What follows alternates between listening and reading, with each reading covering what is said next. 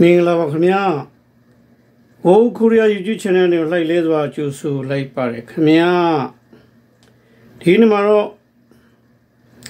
ကိုရီးယားလူဝင်မှုကြီးကြပ်ရေးဌာနကထုတ်ပြန်လိုက်တဲ့ K.E74 အမပစ္စည်းကိုကျွန်တော်ရှင်းလင်းတင်ပြသွားမှာဖြစ်ပါတယ်ခင်ဗျာဒီအမပစ္စည်းဟာ E9 ထူးထူးလောက်သားများအနေနဲ့ဒါရှောက်ထားရရှိတဲ့ E74 ဗီဇာအမျိုးအစားမှာဘယ်လိုအမှတ်တွေရရှိနိုင်လဲဆိုတာကိုထုတ်ပြန်ထားတာဖြစ်ပါတယ်ထုတ်ပြန်တဲ့မှာတော့ K.E74 2023ခုနှစ်ဒုတိယ6လပတ်ကျွမ်းကျင်လုပ်သားများ ရွေးချယ်မှုဆိုင်ရာအစီအစဉ်ဆိုပြီးတော့ပါရှိပါတယ်အဲ့ဒီမှာတော့ရွေးချယ်မဲ့လူသားများဟာစုစုပေါင်း3000ဖြစ်ပါတယ်ဆိုတော့ E7 for 3000ပေါ့ဗျာအဲ့3000ကဘာတွေပါလဲဆိုရင်ကျွန်တော်တို့ဒီ E9 လည်းပါတယ် H2 လည်းပါတယ် E10 လည်းပါတယ်အဲ့ဒီဗီဇာကနေပြီးတော့မှပြောင်းဝင်ရှိတဲ့ဒီပုံကူများစုစုပေါင်း 3000ကိုဒီဒုတိယ6လပတ်မှာခုံမယ်လို့ဒါဆူထားတဲ့သဘောပါပဲဆိုတော့အဲ့ဒီမှာ3000မှာဘယ်လိုပါလဲဆိုလို့ရှိရင် K.E74 3000မှာဘယ်လိုဘာလို့ပါလဲဆိုလို့ရှိရင်ဆိုတော့လုပ်ငန်းရှင်တွေကနေရွေးချယ်တဲ့လုပ်သားရကတော့12000ဖြစ်ပါတယ်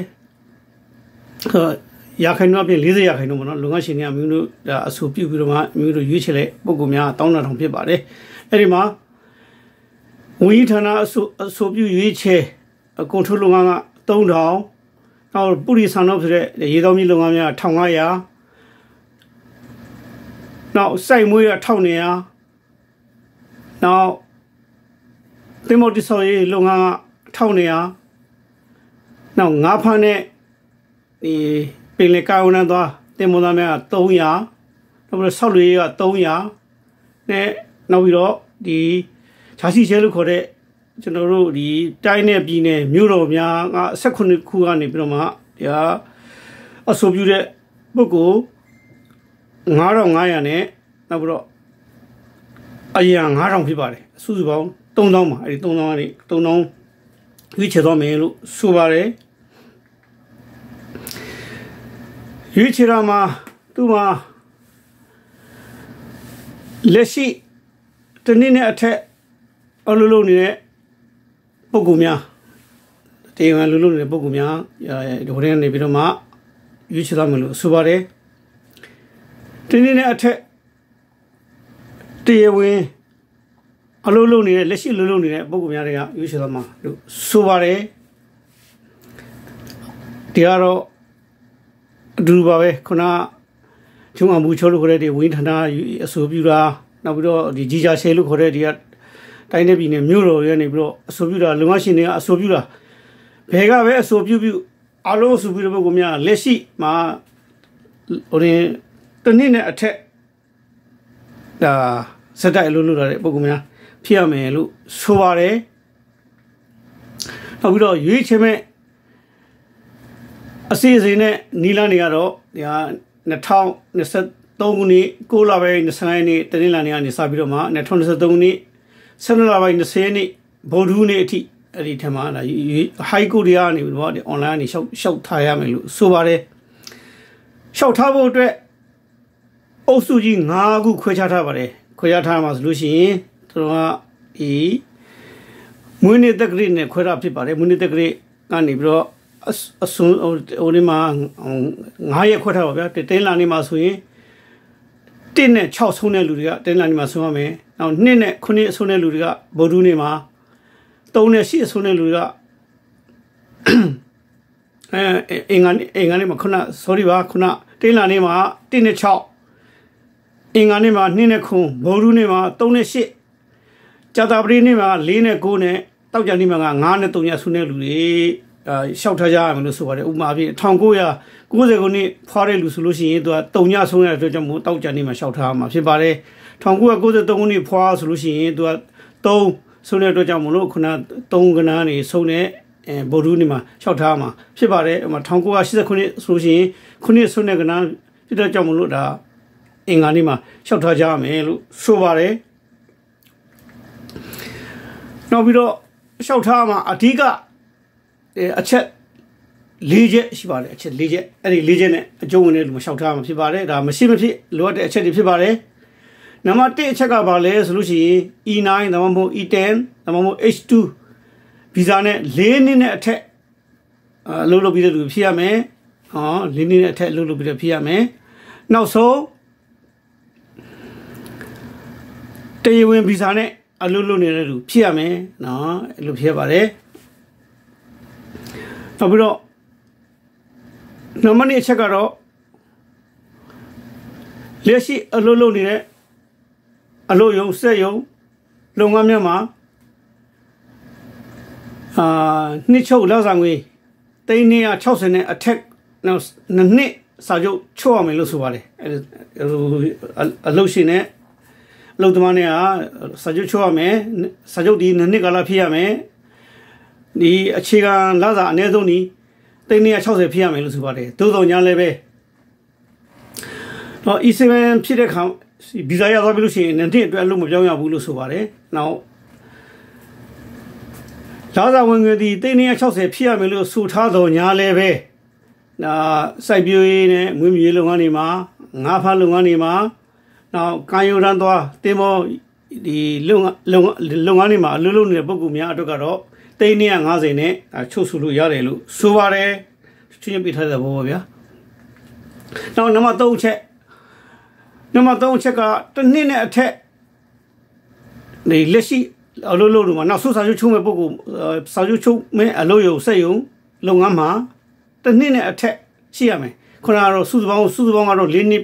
ရှိရမယ်အဲ့ဒီ၄နှစ်မှာမှနောက်ဆုံးအခုလက်ရှိအလုပ်လုပ်နေတဲ့အစက်ရုံမှာစာချုပ်ချုပ်မဲ့စက်ရုံမှာသူကတစ်နှစ်နဲ့အထက် ရှိရမယ်လို့ဆိုပါတယ်နောက်ပြီးတော့ဆိုတော့အလုတ်သားအင်အားရဲ့20ရာခိုင်နှုန်းနဲ့မှလည်းအကျုံးဝင်ရမယ်ဒါဆိုဒီကိုရီးယားလုပ်ငန်းရှင်တွေဆိုရင်အမအလုတ်သမားအယောက်100ရှိတယ်ဆိုလို့ရှိရင်သူမှဒီ E74 အနေနဲ့ရှောက်ထောင်းရတာရွေးချယ်ရတာသူအယောက်20ဖြစ်ပါတယ်ဆိုတော့20ရာခိုင်နှုန်းထဲ21 21 21ရောက်မဖြစ်ရပါဘူးเนาะအဲ့ဒါနောက် နောက်တစ်ချက်ကတော့နံပါတ်4ချက်ပါနောက်နံပါတ်4ချက်ဆိုရှင်စုစုပေါင်းရမှတ်ဒီဟိုပေးမှ300ပေးထားတဲ့အထက်ကနေစုစုပေါင်းရမှတ်ဒီအမှတ်200အထက်ရရှိတဲ့သူများလားရှောက်တော့ရှိမယ်လို့ဆိုပါတယ်အမှတ်200ဘာလို့ပေးထားလဲဘလို့တွေရလဲဆိုတော့နောက်ပိုင်းမှာကျွန်တော်ရှင်းလင်းတင်ပြသွားမှာဖြစ်ပါတယ်ဆိုတော့ 350အထက်ဆိုတာမှတော့နှစ်နှစ်ပြမြနှစ်နှစ်အတွင်းနောက်ဆုံးနှစ်နှစ်အတွင်းမှာရရှိတဲ့ဟိုပြမြငွေဟိုကိုပြမြကိုဟိုနှစ်နှစ်စားလို့ရှိရင်တစ်နှစ်ပြမြငွေတစ်နှစ်ပြမြလာစား350အထက်ရှိရမယ်လို့ဆိုပါတယ်ဆိုတော့350ရဆိုရင်တော့အမှတ်50ရပြီပေါ့ဗျာအဲ့ဒါအဲ့ဒါအခြေခံလိုအပ်ချက်ပါနောက်ပြီးတော့ topic ကနေပြီးတော့ဒီအဲဒုတိယအဆင့်ဖြစ်ရမယ်ဒါမှမဟုတ်ဒီစာဝဲထုံးမ program လို့ဆိုရဲနတန်အထက်ပေါ့ဗျာ အဲ့ဒါကြီးရှိရမလို့ဆိုပါတယ်အဲ့ဒါဆိုရင်ဒါပေါ့ဒါမှမဟုတ်လည်းကျွန်တော်တို့ဒီ KIMB ဝင်ခွင့်ဒီစမ်းစစ်ဆိုင်ဘွဲမှာဖြည့်လိုက်လို့ရှိရင်အမှတ်က40တမအထက်ရရှိရမယ်လို့ဆိုပါတယ်အဲ့ဒါအဲ့ဒါအဲ့ဒီပုံကိုယ်တွေကရှောက်ထားလို့ရမှာဖြစ်ပါတယ်နောက်ပြီးတော့ပေါင်းမှတ်တွေရှိပါတယ်အဲ့ဒီပေါင်းမှတ်တွေကလည်းဒီနောက်ပိုင်းမှာကျွန်တော်ထမှန်ရှင်းလင်းတင်ပြမှာဖြစ်ပါတယ်ဆိုတော့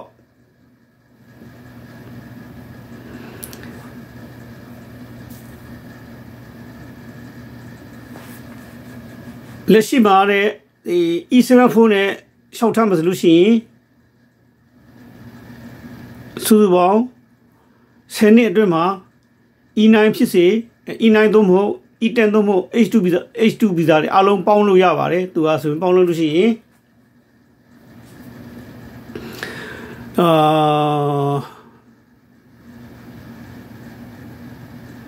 ၃နှစ်နဲ့ထက်နော်ဒီဟိုနေ့မှာဆိုရင်၃နှစ်နဲ့ထက် လို့ရတယ်လို့ဆိုတော့ဒီလူဦးရေရှားပါတဲ့ဒေသတွေမှာရှောင်ခဲ့ဆိုရှင်၃နည်းနဲ့အထက်ရတယ်လို့ဆိုပါတယ်နော်ကောင်းပါပြီစရာတွေပါအမပီစရာတွေဖြစ်ပါတယ်အမဟိုရင်းကတာမြစ်ထားတဲ့လူတွေရှိပါတယ်ဓာငွေ10သိန်းနဲ့10သိန်း10သိန်းအောက် နောက်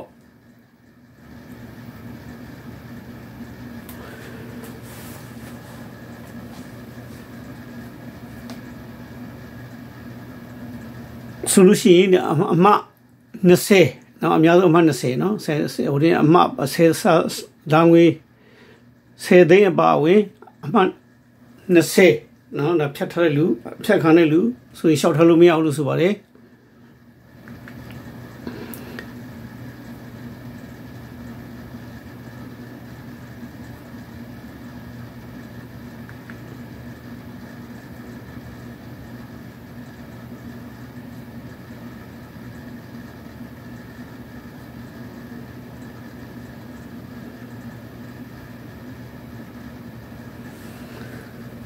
30ရာခိုင်နှုန်းတွင်းနဲ့เนาะဒီမှာဟောယုံအင်ဝန်ဆိုတော့လက်ရှိမှာ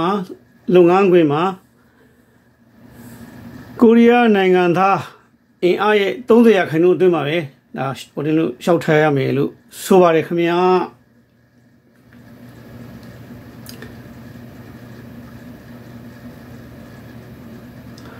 တော့ဗီဇာအာဆိုလို့ရှိရင်ဗီဇာအသစ်မဟုတ်မရပါဘူးတဲ့ E9 ကနေဒါမှမဟုတ် H2 ကနေတော့ E10 ကနေဗီဇာဗီဇာပြောင်းမဲ့ဖြစ်ပါတယ်ဗီဇာအသစ်လျှောက်ထားလို့မရပါဘူးဗီဇာပြောင်းမဲ့လျှောက်ထားလို့ရပါဖြစ်ပါတယ်တဲ့ဒါချိန်လျှောက်လို့ရှိရင်ဗီဇာကာလဒီနှစ်နှစ်အတွင်းမဲ့ဖြစ်ရမယ်လို့ဆိုပါတယ်ခင်ဗျ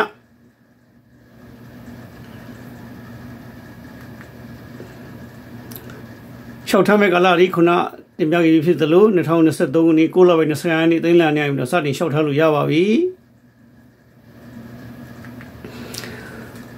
ဆိုတော့အမှတ်ပေးစရာမှာဘာတွေပေးထားလဲဆိုလို့ရှိရင်အဓိကကတော့နော်10နှစ်ဒီ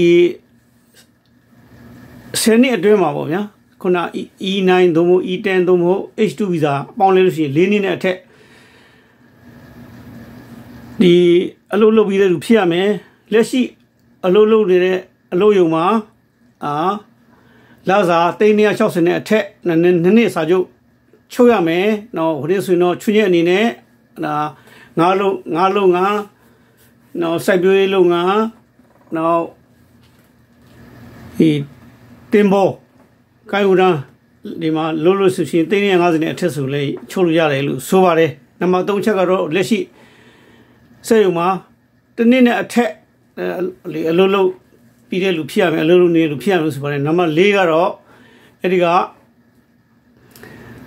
ပြမြလာစာရဲ့ခုနကိုရီးယားအကြီးချင်းအရမှတ်ရဲ့တခု90မှတ်စီနော်အဲ90မှတ်စီကိုရီးယားခုနလာစာက90မှတ်ကိုရီးယားအကြီးချင်းလည်း90မှတ်ဆိုနောက်ပြီးတော့အဲ့ဒီပေါင်းလဲလို့ရှိရင်အမှတ်300နော်စုစုပေါင်းဟိုပေါင်းမှတ်တွေအပါအဝင်ပေါင်းလဲလို့ရှိရင်အမှတ်300နဲ့ပေးထားရမှာဒီအမှတ်3 300ပေးထားမှာအမှတ်200နဲ့အထက်ရစုဖြစ်ရမယ်အဲ့ဒီသူများသားလည်းရင်ကျွန်တော်တို့ဒီက ဒီရှောက်ထားလို့ရရမှာဖြစ်တယ်လို့ဆိုရတယ်နောက်ပြီးတော့ချွင်းရဲ့အနေနဲ့ကတော့ဓာငွေ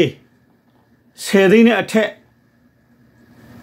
10သိန်းနဲ့အထက်ပြည်တံရခံမှုသူများနောက်အကျွေးကြံအခုအကျွေးကြံရှိသူများနောက်ပြီးတော့လူမှုကြီးကြရေးဥပဒေကို၄ချိန်နဲ့အထက်ဖော်ပြထားသူများနောက်ပြီးတော့တရားမဝင်နေထိုင်မှုသူများ လျှောက်ထားလို့မရဘူးလို့ဆိုပါတယ်နောက်တစ်ချက်ကတော့ကိုရီးယားနိုင်ငံရဲ့အဲနိုင်ငံအကျိုးကိုထိခိုက်စေမဲ့ဒီအပြုတ်မှုများမရှိရဘူးနောက်တော့ကိုရီးယားနိုင်ငံရဲ့ဒါဆိုရင်ဘွေဟာပုဂ္ဂိုလ်များလုံခြုံရေးနဲ့ငြိမ်းချမ်းရေးကိုဆိုရင်ဘွေဟာပုဂ္ဂိုလ်များမဖြစ်စေရဘူးလို့ဆိုပါတယ်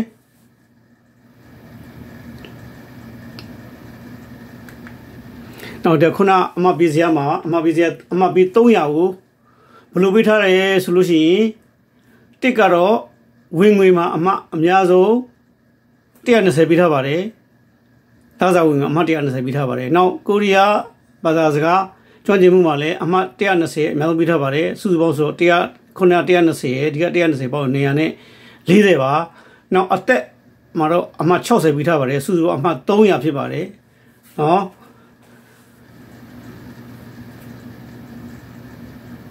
အဲ့ဒီမှာအသေးစိတ်ပြန်ဖွင့်မဆိုလို့ရှိရင်